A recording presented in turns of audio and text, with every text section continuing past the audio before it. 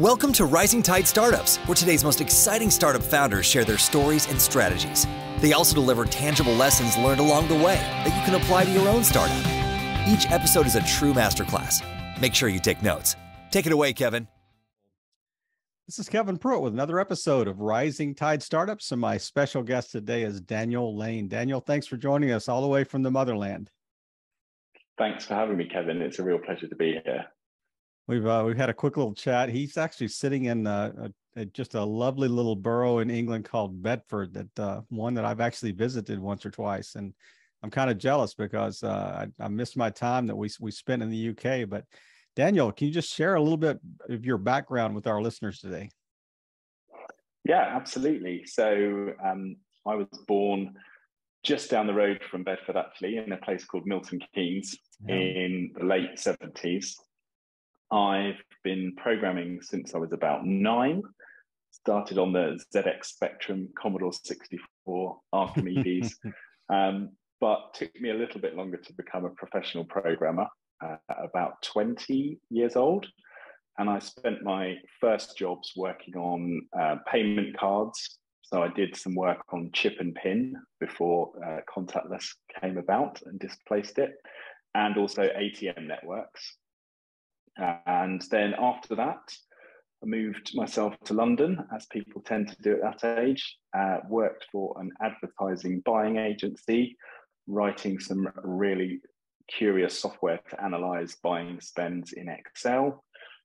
Um, and then I got my first taste of the startup world in the uh, late 90s dot com boom, working for an e commerce platform, uh, which was technically pretty amazing uh, although it did have to use Flash at that time because kind of Web 2.0 technologies weren't out. Yeah. Um, but it was a victim of being way too early for the market. So they built some amazing tech, spent a lot of money, um, and really didn't sell any of it. But uh, just goes to show you, um, you know, you can have the best idea, but it's all about is the market ready yeah, for you? the timing. Yeah.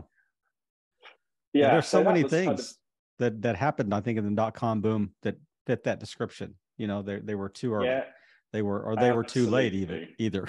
so yeah, yeah, please go ahead, go on. Yeah. Yeah, so that kind of um, then takes me up to how I got into this industry. So we uh, work in the asset finance uh, industry, also known as equipment finance. And I fell into it completely by accident. I'd met someone on another job and they said, Oh, come and work with me on this project. It's really interesting. And that was uh, probably 2000, 2001.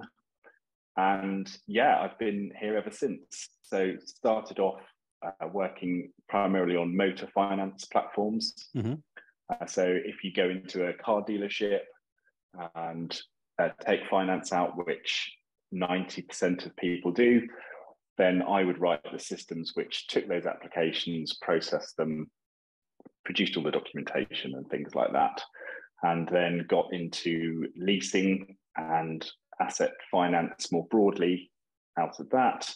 Became a bit of a kind of business consultant as well as a technologist, and then started QV Systems initially in 2012.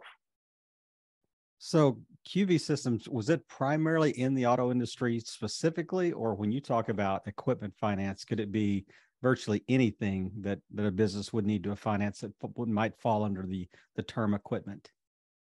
Absolutely. So we cover everything from automotive, and that that was where I spent most of my time. So that was a big part of it. Uh, but also general equipment, so laptops, agricultural equipment, kitchen refits, um, print presses, industrial machinery, anything that a business might want um, can generally be, be financed. Um, and that goes all the way from a single thousand pound laptop to a Boeing 787 Dreamliner. Yeah. Very different transactions, but the same principles apply. And that's what our software does so are you the middle person between kind of the the sales force or the finance i guess guy and the and the the lending company? Are you are you kind of that that connection piece or do you work across multiple lenders? So we we don't get involved in the actual financial transaction itself. So we have no um, capital that we deploy right. or anything like that we don't take cuts of these transactions right. what we provide is the platform that people can use to get that business done on yeah so um, you know a lot of these businesses uh, have a lot of very old software, maybe no software at all. Maybe it's in Excel and Word and email. Um, and there are options out there. Obviously, you can go and choose yourself a generic um, CRM, something like Salesforce, something like Microsoft Dynamics. But that then requires a lot of customization to make it fit this industry. Um, so what we do is we've done all of that work. We understand the industry. We understand the um, data that needs to be manipulated as part of mm-hmm. these transactions, and we've built a SaaS platform that gives you the same kind of experience as a Salesforce.com, but specifically for asset, automotive, and broader commercial finance. Right. I essentially my uh, my son used to be a finance manager at, an auto dealership, and so I'm sure that he's dealt with you know kind of the same, you know, software in the same space. But it is it is really Absolutely. interesting. So this this whole idea kind of around the the banking industry. I mean, I've got a good friend in the UK that is in uh, like property management and finance, and he said that when they tried to expand from say Europe to the US they found that the US banking system was almost archaic you know mm-hmm. compared mm-hmm. to compared to what the UK where the UK was or Germany or or even France and and the rest of the countries in the in Europe but that that really was surprising because you think you know there, there's so much technology that's cutting edge here yet that yeah. specific industry seems to be like you know we're still operating on like excel spreadsheets and duct tape or something so how have you found that? You found that to be true? It's so strange because um, i'm definitely not an, an expert in banking systems generally. I wouldn't claim that but i've used um, retail banking software as a user Mm-hmm. Um, I've used specialist software to deal with card payment transactions as a user and cash machine networks. Um, and I've used a lot of software in the industry that we, we now operate in. And it's such a strange mixture of really, really cutting edge technology at, at one point in the journey, backing into stuff that's like 40 years old. Mm, yeah. And like you say, it's a real hodgepodge. And I know it's particularly complex in America because of the federal nature mm-hmm. of the mm-hmm. country. Yeah. And um, the banking standards have evolved differently in different places. But yeah, even in the UK, you know, you can you as a consumer can be doing something on your fantastic mobile app that your bank has provided you, or a or a, a neo lender or neo bank, but I would bet a significant amount of money at some point that data is going into a system that's written in COBOL. yeah, it's uh, it predates Windows 95, that's for sure. oh yes, oh yes, absolutely. Nice. So so tell me, like nobody just wakes up and decides, you know, I'm going to go into equipment leasing software. I mean, you kind of walked through the, you know, maybe the journey heading into that space, but that that's a that's a pretty big bite you know of the apple to take on. I mean as an individual did you have you know kind of a group of you that that decided to kind of take this on or did you just say hey I, i'm going to go for it. I can i can hire people when i need to. I'm going to go raise some money out there. And what was the what was that that light bulb epiphany moment that kind of kind of walked you into this space? Well I, I, I, tell you this, Kevin, I wish it had been as well planned as that. but any, anyone, anyone that knows me will tell you that planning is not my forte. so I was a I was a pretty serious technologist. You know, my speciality was data modeling. Mm-hmm. So designing the data models that supported these platforms pretty nerdy stuff, really. Um, but one of the where it really came from is so I would spend my time working on these projects, which would last anything from 18 months to two years, give or take. Uh, so we would write the software. You know if it was abroad, we get on the plane, we fly out, see the customer, install the software. Because of course, this is you know this is not the modern world that we're in now. Uh, so you used to have to take it on the CDs, um, and then it would, you'd get to a point where the customer was happy. You'd go live, and then you go back to the UK, the office in the UK, and you'd start again. You do the same thing again. And after a few goes round, fun though it was, I just thought he says that tongue in be... cheek. Fun though it was. there has to be a better way, right? There has to be a way that we can build this software once, deploy it over the cloud. I mean, the cloud was kind of a thing back then, but it wasn't if you wanted to sell it to a bank. Banks were still like, no, that's not a thing. Yep. It's on our metal in yep. our basement. I want not safe, not it. secure. Yeah. Too many open doors. Yeah. Yada yada. Exactly. and and basically I just started writing the software as a technology experiment. There was no business model. I had no idea how I was going to commercialize it. I had no idea what the total addressable market was, or even what that phrase meant. um, but what I did have is a conviction that there, there needed to be a better way of delivering this service. So I wrote a, a bit of it, you know, a bit of a prototype, if you like, and took that to some of the existing uh, software vendors in this space, including, you know, the person that owned the company I worked for, and I'll always remember him saying to me, uh, okay, you know, I like it. It looks cool, but how are you going to make money from it? How do we commercialize this? And of course, I had, I didn't have the answer. Um, and then the global financial crash mm. happened, and everybody kind of retreated into their shells and, and had to deal with that. You're talking 2008? Nine? Yeah, 2007, 2008. Yeah. Um, and then, so I kind of parked the software. Mm-hmm. I had to go to work. Um, I'd had my first child by that point, so doing all of that as well. Um, but then in kind of 2011, I thought there must, you know, there's something there. And it seems like a real shame to leave that software on the digital shelf. So I dusted it off, managed to raise some angel money um, and set to work on trying to turn it from a prototype into a product. I bet you knew what uh, TAM was when you talked to your first angel. Because he asked you the question, he goes, What's the TAM you have? I, I already know what TAM means. Oh, total addressable market. Oh, oh yeah, I know. Yeah. I'm going to go find that out and I'll come back. yeah, I, I will say this. Um, the angel uh, was great. And, you know, without their faith and support, we wouldn't be here. So, you know, thank you, Simon, for that is his name. Um, but the real learning curve was when we did our first VC round. And that's when you realize how little you know. because they don't the mind acronym, letting you know that either, do they?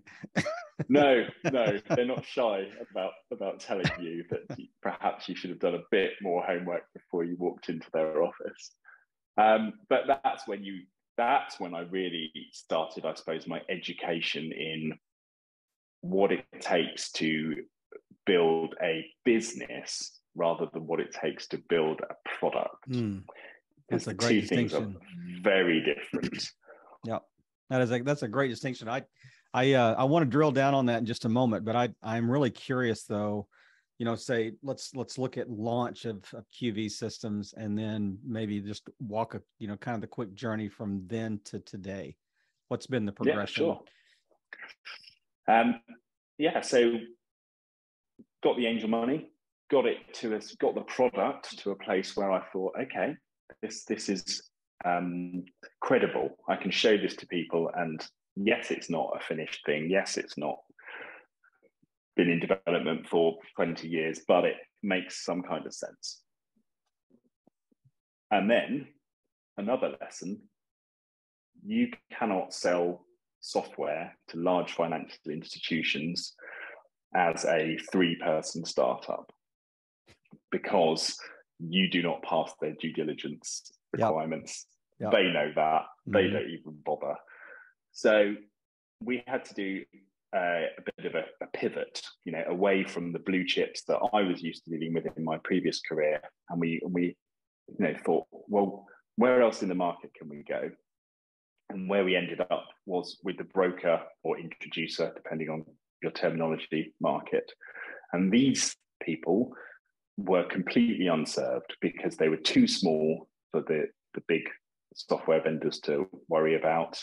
That they really were just Excel, you know, standard desktop productivity software right. suites, bits of paper, you know, Post-it notes. of that stuff.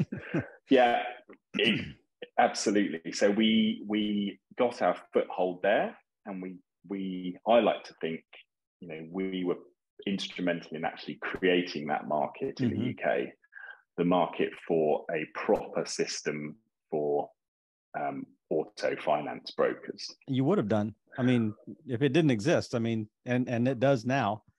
I mean, I yeah. think you would have created that. Yeah, so so we did that for three years or so, and that got us to a stage where we were actually able to win a contract with a pretty decent sized uh, finance company that did auto finance mm-hmm. and asset finance as well. And that then um, drove us into making sure that the platform worked equally well for both.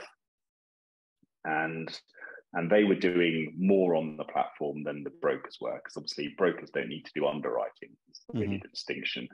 These people needed to do underwriting, so we had to integrate with credit reference agencies, provide screens to do all of that on, more advanced workflows, more advanced e-signature. Um, and really that contract got us to the size where we could then go for the VC money. Mm. The VC money then took us from, um, I think we were probably five people uh, when we won that contract, four or five. Um, and now we are 21 at the moment. Um, and the business has almost exactly quadrupled in size across those four years. Um, so, a really strong growth story, and we're super excited about what comes next. And just now scratching the surface. I mean, you're. It sounds like to me you're almost you you would consider we're almost getting our feet under us you know, type yeah.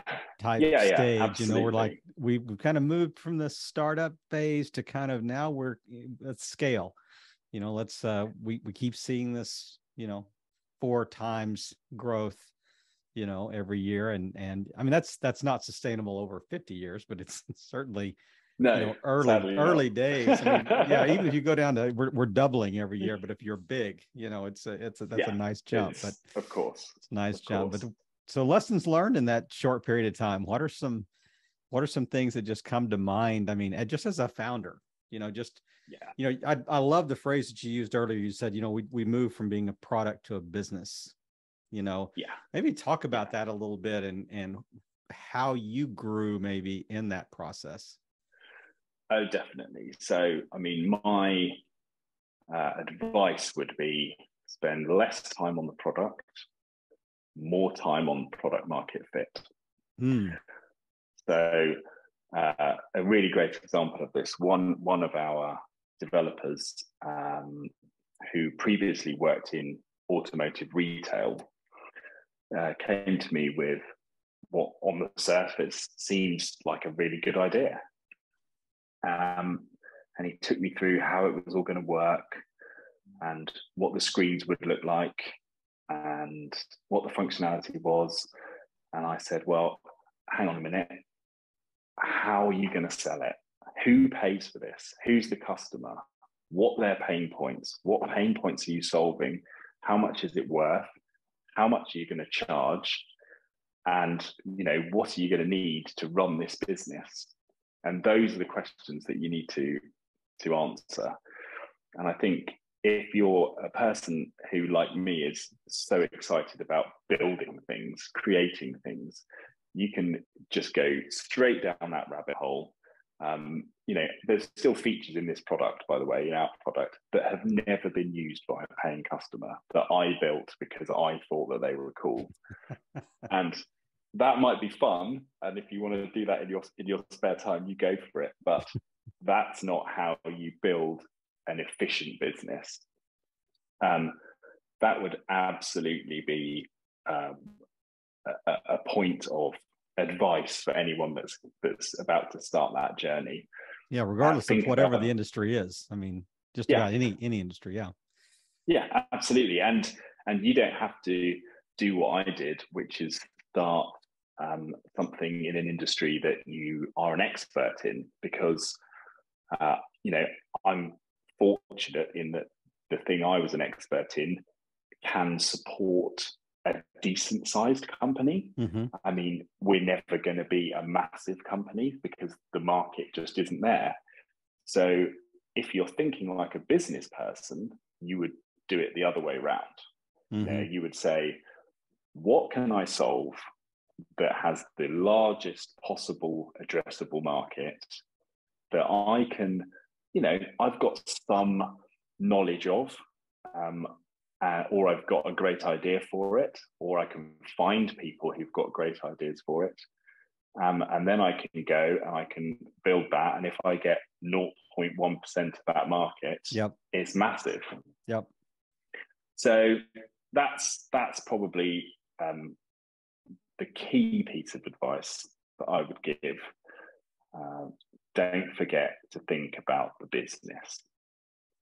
I, I, I love the, how concise you were and that you didn't have to think about it. You just said, this is the this is the the the main lesson the main lesson is spend more time on product market fit less time on just creating the product itself what about what about lessons that you learned going from being an employee or a consultant to now being the boss?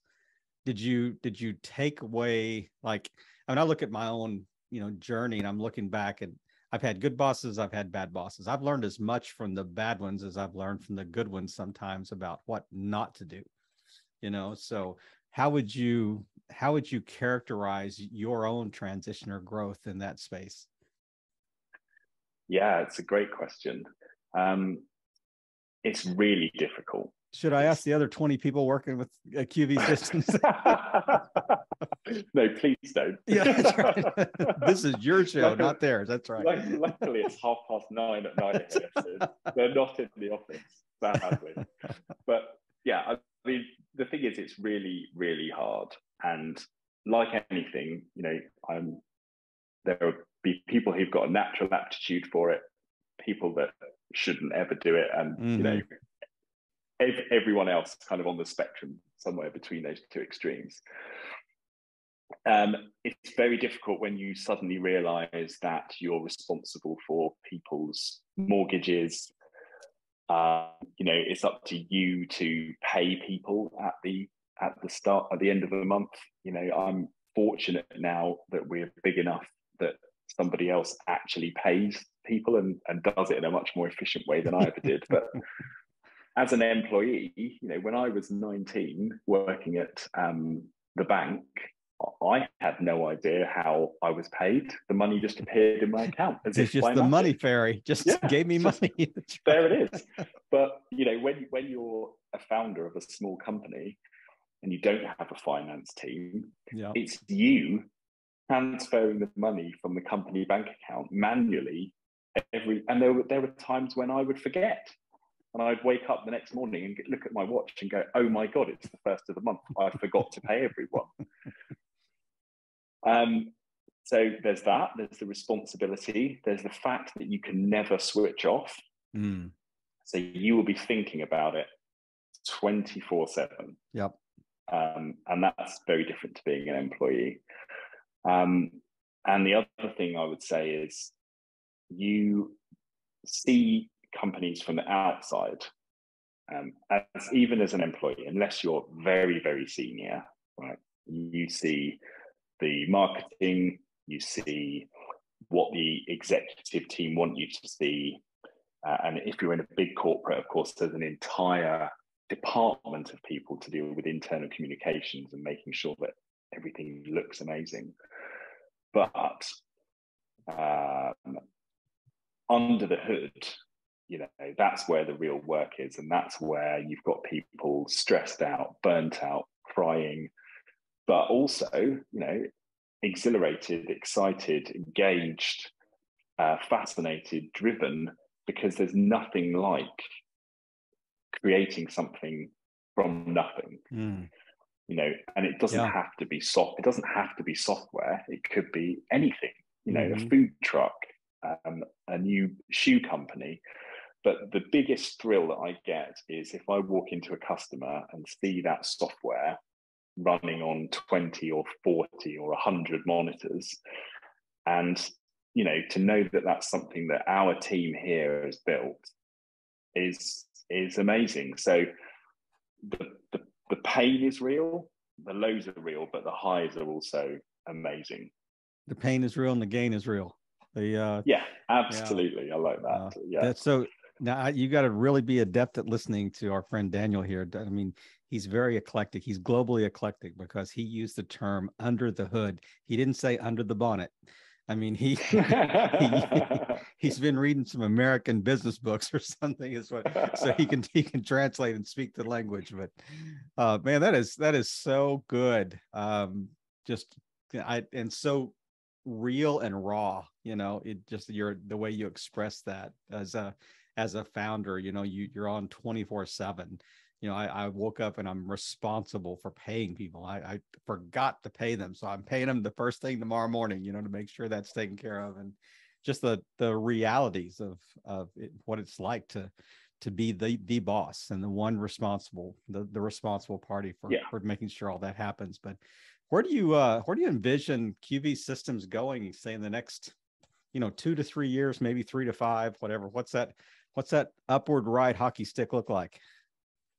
Yes. Um, so we are we're we're on a mission, and that mission is uh, frictionless finance. So there's still too much friction in um, certainly the commercial finance landscape in the UK. Mm-hmm.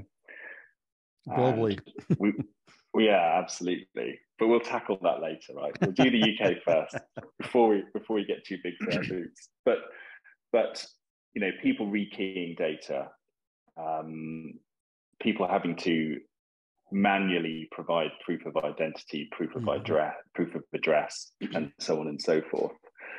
Um, and you know, each individual improvement that we can make is small, but we feel when we've made enough of those improvements, you know, that could be a real step change in in how the whole economy, the credit economy, works and what that can do, not only for individuals, because who doesn't like a, a, an easy uh, experience when they're trying to buy a yeah, product, sure. whether it's finance, insurance, whatever, but also for businesses, because you know we've just been talking for the last 20 minutes about how hard it is to start a business.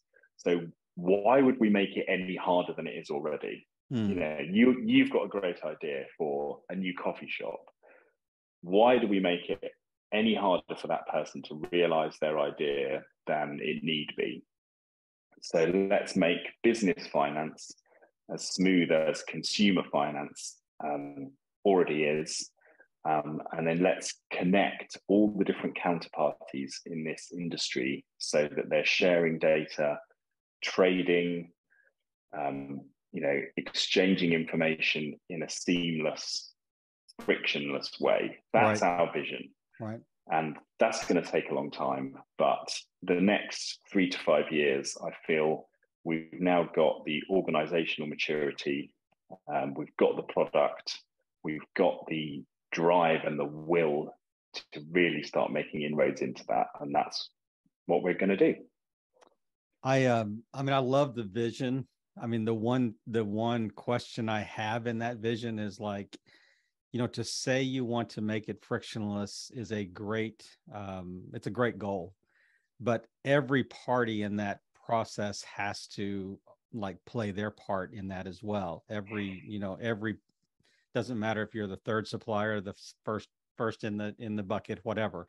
And not only you know reducing friction it is reducing friction in a very secure manner because yeah. there's nothing more susceptible than like financial transactions you know and the the whole financial space as far as and and information you know uh, integrity that you know you're trying to maintain. So it's a it's a big big ask and a big task. I mean it's uh i i applaud you for certainly taking that on. It's not like you know selling t-shirts on on etsy or something. It's uh it is a much much bigger task. But i'd i'd love for you to wrap us up today just just speak into the camera and just you're talking to people that are sitting in a cube. They've got their ideas. They they're trying to you know how how do i launch it? How do i take that first step? How do i step out in faith? How do i you know all the above the the things that you went through, you know, in, to to launch QV systems and just just real concisely, just just speak to them to to give them a word of advice, encouragement, whatever you think would be the most helpful, and then then tell people where the best place to find you online. Sure. So I think I would say you don't have to quit your job and go all in, right? If you're 21 and you've got no responsibilities and you don't pay rent, fine. And that's what you want to do. And you think, you know, I can do this, I'm going to go for it. That's fine because if it doesn't work, it's not a problem, right? You mm. go and mm. get another job. Yeah. If you're not in that in that situation, you don't have to quit and go all in. You what you do have to do is do the research and the thinking up front. Mm because you can save yourself so much time by doing that. And if I were to do this again, you know, that's what I would do. I would do more upfront work on the business, which would save immeasurable amounts of time later on. So I would say if you're in your cube and you've got a great idea, especially if it's B2B, because the great thing about selling to businesses is if it saves the money or improves their workflow, they'll buy it. Yep. If you're selling to consumers, you've got to appeal to emotion, you've got mm. to have a massive marketing budget, all of that stuff.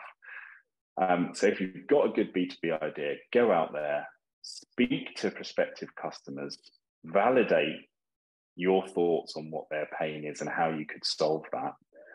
And then get building. You know, you don't have to be a software engineer to build great solutions nowadays. You know, you don't even have to hire software engineers. It's about using your intellect to solve a problem. And, and there are so many tools out there, no code, low code tools mm-hmm. that do that for you.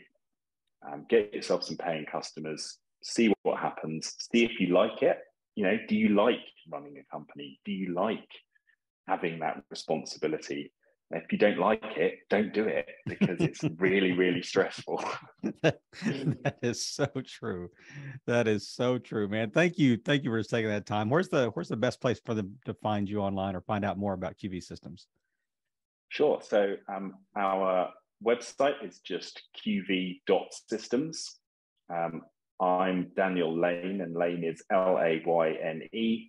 I'm on LinkedIn, and our email address is just uh, forename dot surname at qv dot systems. So you can email me directly there.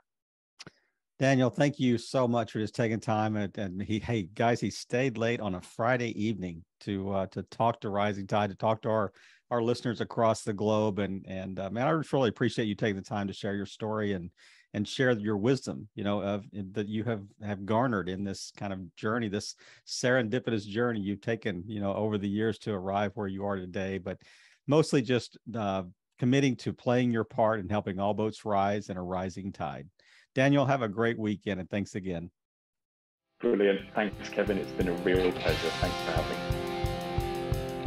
Another episode in the books. We hope you heard some great takeaways. Don't forget to subscribe and leave a five star review on iTunes and YouTube. As always, thanks for listening to Rising Tide.